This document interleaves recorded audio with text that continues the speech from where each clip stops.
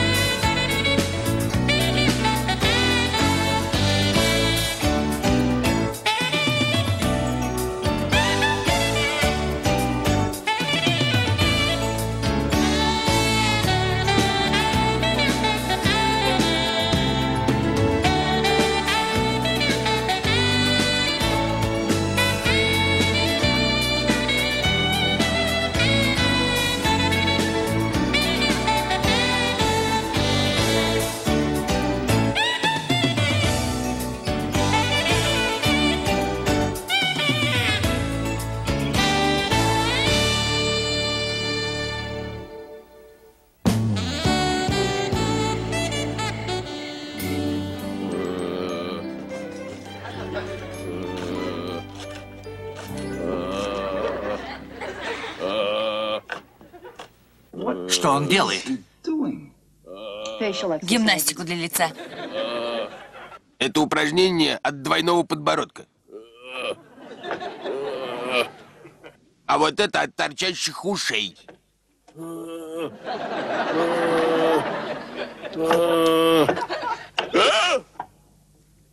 А это? А это значит, что с заднего двора подходит Ракель. Дерби МакГроу Рому! Добрый день, Вилли. Здравствуй, Ракель. Заходи. Кейт, я принесла твой журнал. Спасибо, Ракель. Тебе понравился рецепт любимого жаркого Сильвестра Сталлоне? Я в нем разочаровалась. Два часа отбивала мясо, а Тревор все равно жаловался, что оно жесткое. Сначала Рэмбо 3, теперь это жаркое. Теперь я точно знаю, Сталлоне никудышный повар. Кстати, вы уже познакомились с нашим новым соседом? Он снял дом Фенеманов. Кто-то снял старый дом Фенеманов? Проснись и протри глаза, Вилли. Этот тип там уже целых шесть дней. Что это за тип, Ракель? Его зовут Аарон Кинг. Так, ему чуть за 50, говорит с южным акцентом, поет в душе. Больше ничего о нем не знаю. У каждого из нас есть маленькие тайны. Правда? Какие? Я тоже пою в душ. А, как вы думаете, почему Фенеманы уехали? Ладно, мне пора.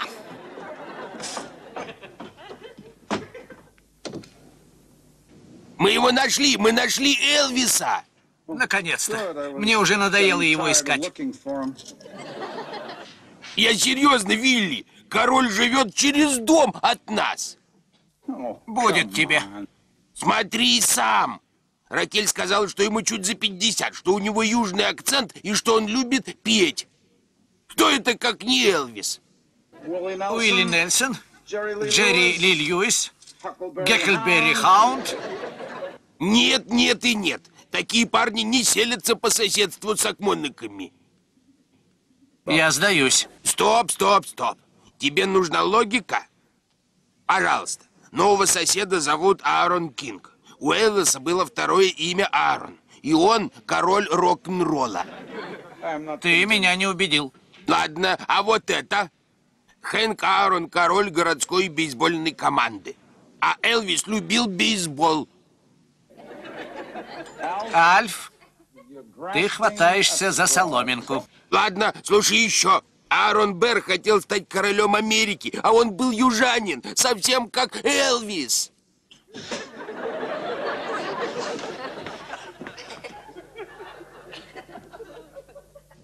Ну, хоть часы его отвоевал.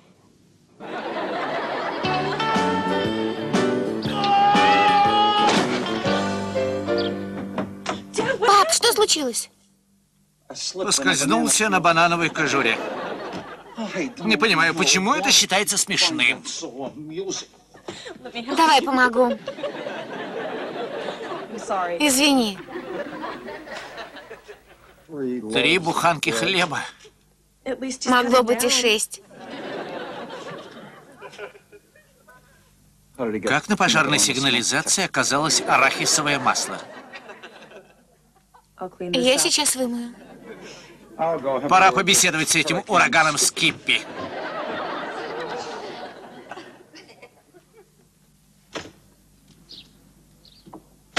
Альф, в кухне все заляпано арахисовым маслом. Отпечатки четырехпалые. Что скажешь? У меня не отложилось в памяти это событие. Вилли, я тут думал об этом Аароне Кинге. Знаешь, ты прав.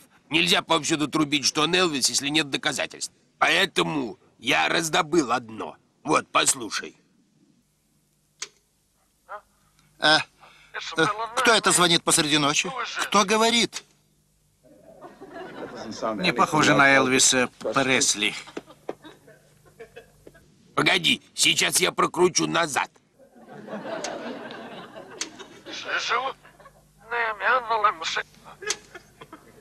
Ну как? Что, как? А то, что задом наперед Элвис звучал точно так же. В последние годы. И когда же ты позвонил мистеру Кингу, чтобы добыть это поразительное доказательство? Три часа ночи. Ты его разбудил. Доказательство номер два. Содержимое помойного ведра Аарона Кинга. Синие замшевые туфли Элвиса. Это же красные плетеные сандалии. А он изменил цвет и материал, чтобы фанаты не раскопали их в мусоре. Вроде тебя. Точно. Доказательство номер три. Стихи Элвиса. В них есть скрытый смысл. Моя крошка ушла от меня, и я нашел себе новый дом. Только дом был на улице Одиночества, а не по соседству с Ахмоноками. Ладно. Ну вот это тебя точно убедит. Если переставить буквы в имени Элвис Аарон Пресли, то получится... Пресли жив. Нора. Остается найти эту цепочку Нору. Ты меня убедил, Альф. Мы живем через дом от Элвиса Пресли. Ракель на самом деле Дженнис Джоплин, а Тревор Бадди Холли. Красота какая. Подожди, Вилли. Скоро он сюда заявится, тогда выясним все наверняка. Он скоро сюда заявится? А разве я не сказал, что пообещал мистеру Кингу в подарок корзину фруктов? Нет. А значит, я забыл упомянуть, что он явится за ней с минуты на минуту. Да. Я такой забывчивый. Надо было завязать узелок на память. Эй, я же завязал! Господи, совсем из головы вылетело.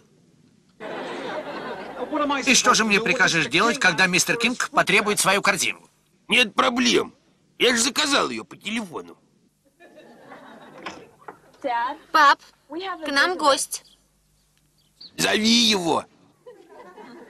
Слушай, Вилли, когда он войдет, посмотри, будет ли он вести себя как Элвис. Как я это проверю? Посмотри, потекут ли у него слюнки вот от этого. Что это? Жареные бутерброды с арахисовым маслом и бананами. Элвис их по 20 штук в день съедал. Странно, если он еще жив.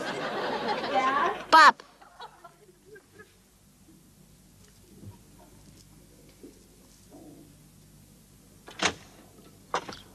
пап, это мистер Кинг. Доброе утро. Доброе утро, я Вилли Таннер. Мистер Кинг говорит, что мы ему приготовили корзину фруктов. Да, мы всегда дарим фрукты новым соседям. И всегда звоните им в три ночи. Рады с вами познакомиться и добро пожаловать. Большое спасибо. От этого яблока кто-то откусил. Плодовые мушки год от года все крупнее. Давайте мы закажем вам новую корзину. Нет, что вы, все в порядке. А это, случайно, не бутерброды с арахисовым маслом и бананами? Да, да, да, это они. Угощайтесь, пожалуйста. Ну, если вы сами не хотите... Честное слово, не хочу. Спасибо. Огромное спасибо. У меня тоже были такие сандалии, но я их выбросил. Пока. Пока, рад познакомиться. До свидания. Элвис вышел на улицу. Это не Элвис Пресли. Ты шутишь? Он вцепился в этот бутерброд, как голодный в кусок хлеба. Альф, по-моему, он вовсе не похож на Элвиса. Элвис отличный актер. Он мог бы сыграть кого угодно, от поющего подводника до пьющего колодника. Даже если наш сосед и правда Элвис Пресли, уверяю тебя, он ни за что не признается. Спорим, я развяжу ему язык. Оставь его в покое. Оставь его в покое. Как это оставь его в покое?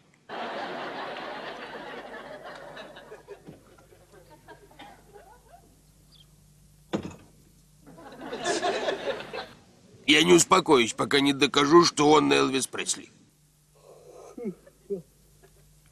Но сначала посплю, пожалуй.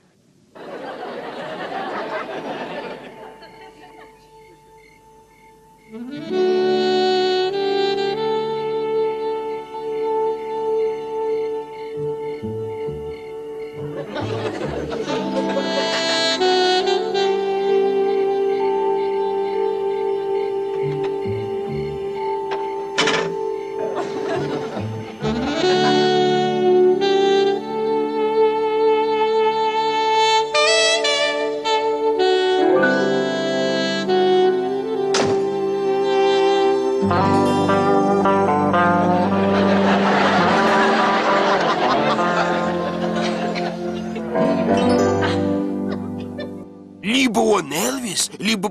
устроила грандиозную распродажу.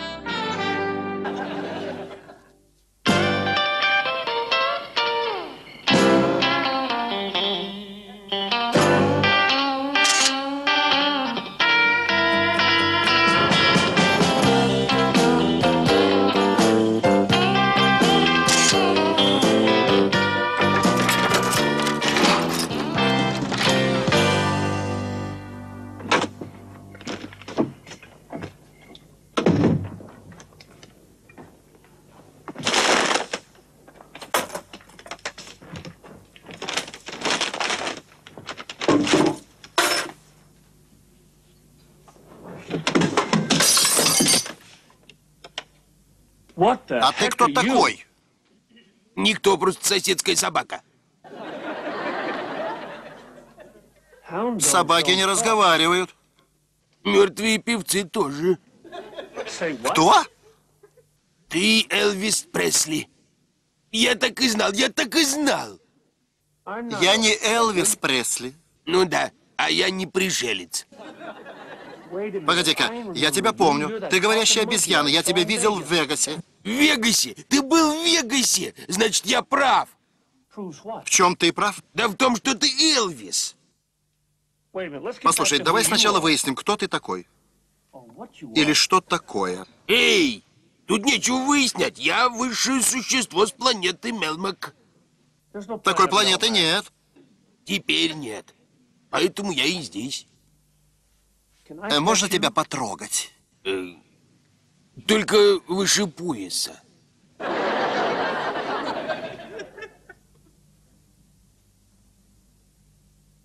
Ты что, правда с другой планеты прилетел? Да, да. Но теперь я живу через дом от тебя. Друзья называют меня Альфом. Эй, фанат многое бы отдал за такую фотографию. Элвис знакомится с пришельцем из космоса. Послушай, не дури. Ну зачем такому человеку, как Элвис, притворяться мертвым? Ну, наверное, тебе захотелось опять стать простым парнем, жить в обычном городе, ездить на простых розовых кадиллаках. Но фанаты так тебя загнали, что ты не выдержал и купил себе билет в рок-н-ролльный рай. Вы, пришельцы, занимаетесь тем, что ищете мертвых кумиров? Меня раздражает этот стереотип. У пришельцев много интересов. Мы сидим дома, едим, смотрим телевизор. Ты больше похож на Элвиса, чем я. Эй, эй, ты бы лучше звякнул Энни Маргарет и вызвал ее сюда. Минуточку, я только слетаю в Грейсленд и заберу свой Ролодекс. Эй, кто бы это ни был, не говори им, что я здесь, только если они меня и так знают. Но ты-то не знаешь, кто меня знает. Правда, можно придумать пароль. Может, я все-таки открою дверь? Ладно, валяй. Здравствуйте, мэм. Здравствуйте. Мы с вами еще не знакомы. Я Ракель Акмонок, ваша соседка. А, точно, я не узнал вас без бинокля. Я принесла вам жаркое по рецепту Сильвестра Сталлоне. Очень мило с вашей стороны. Если хотите, я вам его разогрею. Это очень быстро. Не беспокойтесь, мэм, я уже пообедал. Знаю. Тогда я вам его поставлю в холодильник. Сказать по правде, мэм, вы пришли в довольно деликатный для меня момент. Как это? Я не совсем один. Вы понимаете, куда я клоню? Правда? Но я не видела, чтобы к вам в дом кто-нибудь заходил. Так вы не обидитесь, если я не приглашу вас войти? Конечно, нет. Слушайте записи Элвиса. Перед его голосом не устоит ни одна девушка. Знаю.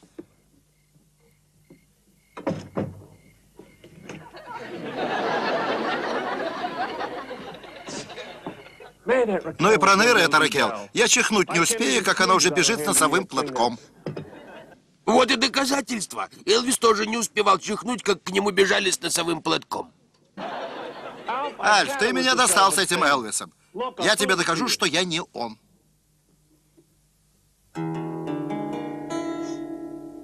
Моя крошка ушла от меня, и я нашел себе новый дом.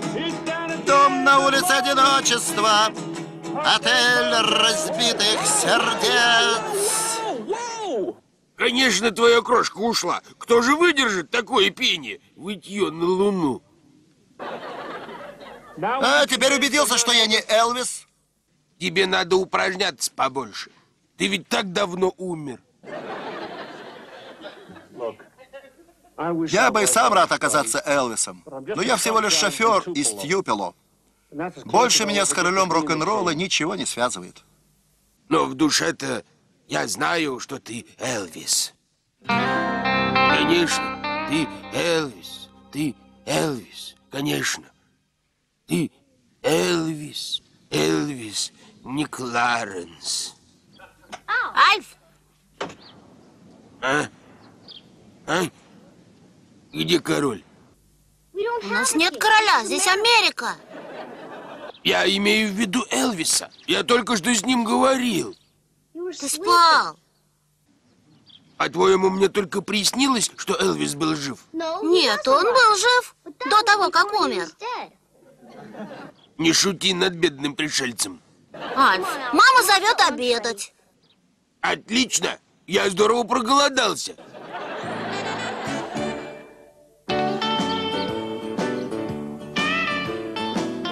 Но знаете, что меня больше всего убедило в том, что он Элвис? Что? Он заявил, я не Элвис. Ну, кто, кроме Элвиса, сказал бы такое? Почти каждый. Я больше не могу ждать, Кейт. Пойду к нему и добуду последнее доказательство. Альф, давай представим на минутку, только на минутку, что Аарон Кинг — это Элвис Пресли. Как, по-твоему, чего бы он от тебя хотел? Чтобы я оставил его в покое, Лучше. не стал бы навязываться. Хорошо. И заказал бы полный набор памятных обувных колодок Элвис. Неправильно. Кейт? Чао. Пока. Привет, Ракель. Заходи. Кейт, ты не поверишь. Тут такое случилось. Аарон Кинг съехал среди ночи из дома. Как странно. Ничего странного. На самом деле этот тип вовсе не тот, за кого себя выдает. Как, ты тоже? Что? То есть как это? Он всегда зашторил окна, не снимал темных очков даже в пасмурную погоду, и я видела, как он погрузил в машину две или три гитары. Ракель, я знаю, что ты думаешь. Но он ведь давно умер. Я тоже так думала, но запомни мои слова, Кейт. Этот наш сосед был никто иной, как Бадди Холли.